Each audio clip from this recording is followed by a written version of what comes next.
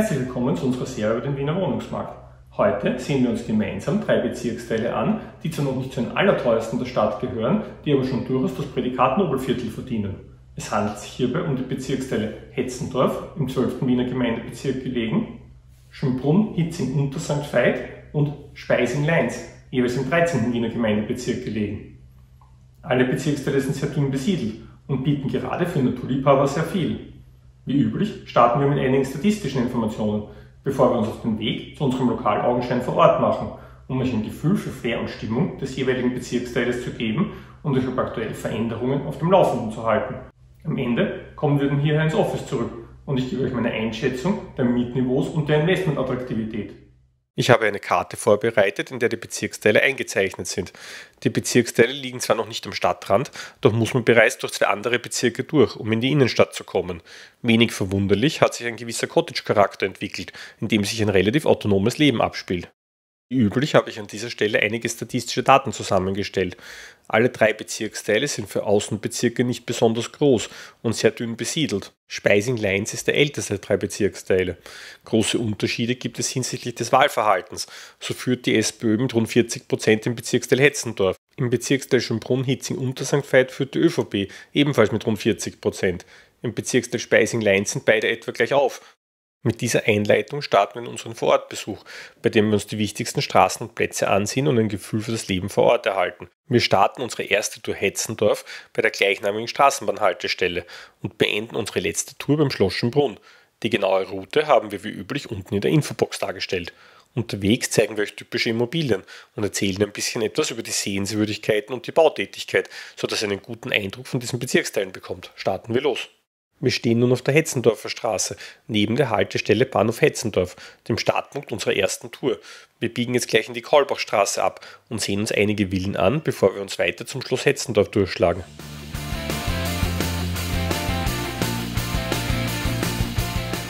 Wir sehen viele nette Villen um uns herum.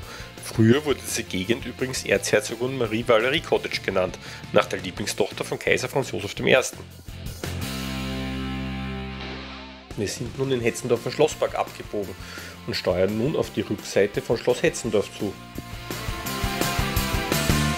Wir sind nun auf der Vorderseite von Schloss Hetzendorf angekommen, dessen Geschichte bis ins Jahr 1694 zurückreicht, als Franz Sigismund Graf von Thun und Hohenstein hier ein eingeschossiges Jagdschlösschen, den Thunhof, erbauen ließ. Architekt war vermutlich Johann Bernhard Fischer von Erlach. Maria Theresia beauftragte 1743 ihren Hofarchitekten, das Gebäude zum Schloss zu erweitern und als Wohnsitz für ihre Mutter auszugestalten. Nach dem Tod der Kaiserin-Witwe 1750 stand das Schloss längere Zeit leer. Als Maria Therese 1762 die Bockenimpfung einführte, ließ sie diese in der Anfangsphase hier an adeligen Kindern ausprobieren, die dann vier Wochen mit ihren Familien auf Kosten des Hofes im Schloss lebten und medizinisch betreut wurden. 1946 pachte die Stadt Wien das Schloss vom Bund für ihre Modeschule und kaufte es 1987 an.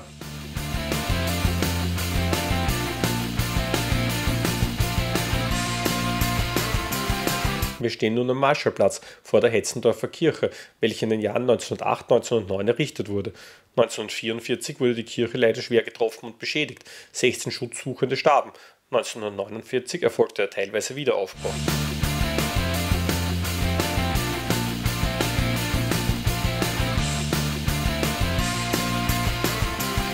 Wir haben nun die Siedlung Rosenhügel erreicht. Die Siedlung Rosenhügel ist eine der größten genossenschaftlichen Siedlungen Wiens. Sie liegt im Hetzendorfer Abschnitt des Rosenhügels mit der Rosenhügelstraße als Hauptachse. Die Reihenhaussiedlung entstand 1921 bis 1927 im Zuge der Gartenstadtbewegung und war für Selbstversorger konzipiert.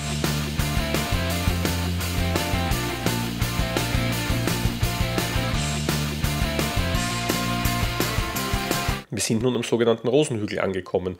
Der Rosenhügel hat seinen Namen von ausgedehnten Rosenkulturen, die sich früher an dieser Stelle befanden. Der Rosenhügel ist in mehrfacher Hinsicht Bezirksteilgrenze.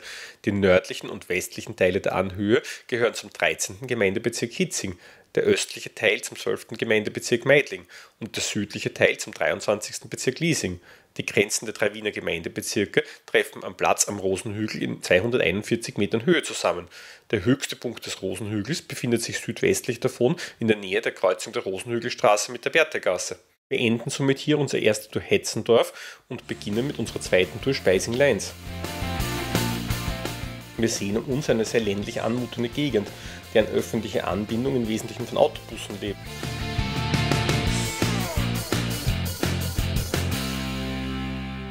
Nach einem längeren Fußmarsch sind wir nun beim Bahnhof Speising angekommen. Dieser stellt die Grenze zwischen unserer zweiten Tour und unserer dritten Tour dar. Wir sind nun die Speisinger Straße ein Stück nach unten gegangen und stehen nun vor dem Kardinal Könighaus, der den Beinamen der Rote Kardinal hatte, weil er sich sehr um eine Aussöhnung der Kirche mit der Sozialdemokratie bemüht hat. Wir sind nun im Garten der Klimtvilla angekommen. Hier schuf Gustav Klimt von 1911 bis zu seinem Tod 1918 in einem ebenerdigen Gartenhaus, welches er als Atelier nutzte, einige seiner wichtigsten Werke. Er arbeitete hier an mehr als 50 Gemälden, darunter weltbekannte Bilder wie Adele Bochbauer II, Friederike Beer, Die Braut und Adam und Eva. Die Villa selbst erlebte Klimt nicht mehr. Sie wurde erst im Jahr 1923 geschaffen, wobei die Atelierräume, in denen Gustav Klimt wirkte, bis heute erhalten sind. Im Zuge einer groß angelegten Revitalisierung im Jahr 2012 wurden das Empfangszimmer und das Atelierzimmer von Gustav Klimt detailliert rekonstruiert. Diese zählen heute zu den wesentlichen Ausstellungselementen der Klimt-Villa.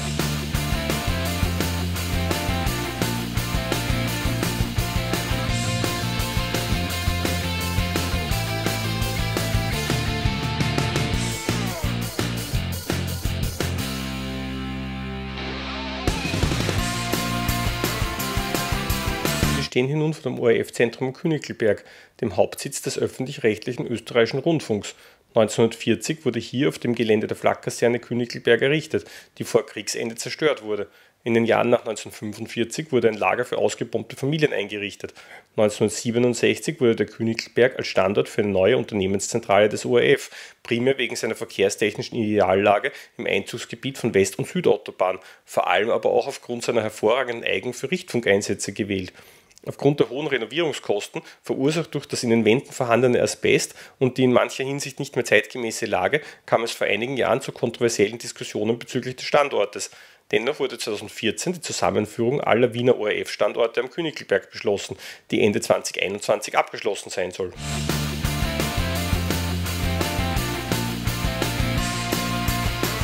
Wir sind nun am Hitzinger Friedhof, der abgesehen von der Ehrengräbersektion am Zentralfriedhof vermutlich die höchste Prominentendichte aller Wiener Friedhöfe aufweist. Zu den berühmtesten hier bestatteten Personen zählen Franz Grillparzer, Otto Wagner, Gustav Klimt, Heinz Konrads und Engelbert Dollfuß, über dessen Stellung in der Geschichte bis heute keine Einigkeit herrscht. Da wir hier nicht wohnen wollen, gehen wir nun weiter ins Zentrum von Hitzing, wo wir gleich mit einem der bekanntesten Kaffeehäuser des Bezirks beginnen.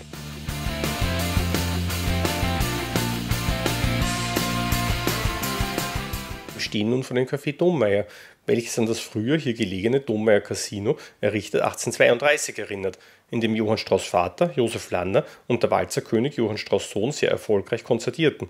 Später erfolgten mehrere Eigentümerwechsel und die Umwandlung in ein Kaffeehaus. 2006 übernahm die anlässlich der Internationalen Wiener Gartenschau gegründete Kurkonditorei Oberla den Betrieb und führt ihn seither unter Beibehaltung seiner Eigenheiten. All jenen, die mehr über dieses Thema erfahren wollen, darf ich unser Video Günstig und Grün im 10. Bezirk ans Herz legen, in dem wir uns den Stadtteil Oberla genauer angesehen haben. Wir sind nun beim Bezirksmuseum und der Pfarrkirche Ritzing angekommen. Das Bezirksmuseum zeigt die historische Entwicklung jener Vorortgemeinden, die heute im 13. Wiener Gemeindebezirk zusammengefasst sind, von der Prähistorie bis ins 20. Jahrhundert. Unter den Erinnerungsstücken an berühmte Persönlichkeiten ist zum Beispiel die Schreibmaschine von Nobelpreisträgerin Bertha von Suttner zu nennen, ebenso wie Egon Schieles Staffelei. Da zum Nobelbezirk Hitzing auch noch das Schloss Schönbrunn gehört, finden sich im Museum auch Erinnerungsstücke an das Kaiserhaus und natürlich eine Schau historischer Ansichten. Wir gehen nun durch den Schlosspark Schönbrunn, einen beliebten Ausflugsziel von Touristen, ebenso wie von uns Wienern. Neben dem ältesten bestehenden Zoo der Welt, dem Tiergarten Schönbrunn, sind im Schlosspark das Palmenhaus und auch die Gloriette sehenswert. Aufgrund der Größe des Areals schreiten wir dieses nicht vollständig ab. Solltet ihr jedoch Interesse an tollen Fotos zu dieser Location haben, kommt doch einfach auf unserem Instagram-Kanal Wiener Wohnungsmarkt vorbei. Wir sind nun auf der Rückseite von Schloss Schönbrunn angekommen. Sein Name geht auf einen Kaiser Matthias zugeschriebenen Ausspruch zurück. Er soll im Jahr 1619 auf der Jagd eine artesische Quelle entdeckt haben und gerufen haben, welch schöner Brunn. Von 1638 bis 1643 errichtet, wurde es bereits bei der zweiten Wiener Türkenbelagerung 1683 schwer beschädigt. 1687 gab Leopold I. für seinen Thronfolger Joseph I. einen repräsentativen Neubau in Auftrag. Erst ab 1743 wurde unter Maria Theresia das Schloss und der Park in seiner heutigen Form um- und ausgebaut. Der barocke Palast war von Mitte des 18. Jahrhunderts bis zum Ende des Heiligen Römischen Reiches im Jahr 1806 die Sommerresidenz der Könige und Kaiser des Reiches und ab 1804 bis zum Ende des Ersten Weltkrieges des österreichischen Kaiserhauses. Das Schloss war in dieser Zeit fast durchgehend von mehreren hundert Personen umfassenden Hofstaat bewohnt und wurde zu einem kulturellen und politischen Mittelpunkt des Habsburgerreiches.